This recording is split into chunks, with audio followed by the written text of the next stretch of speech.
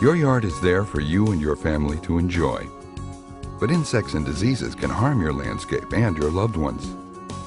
At Northeastern Tree Care, we provide healthy solutions for a healthy planet. Hemlock woolly adelgid can cause serious harm to your privacy hedges and hemlock trees, possibly costing you and your family tens of thousands in replacement costs.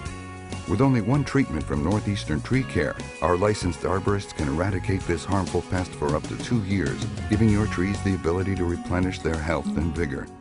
We also provide horticultural oils and soaps and non-spray Lyme disease tick control.